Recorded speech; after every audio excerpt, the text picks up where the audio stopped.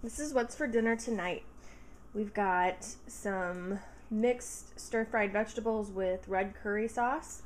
Um, you can't really see the sauce too much because it kind of boiled down. But yeah, and then we're gonna have some soba noodles with that.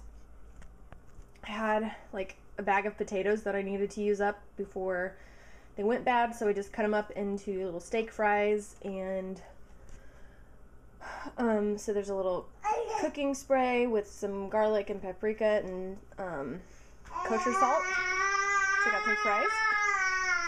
So we probably won't eat all this, but here it is. And this is for baby Jack on a plate. So there it is, all plated up.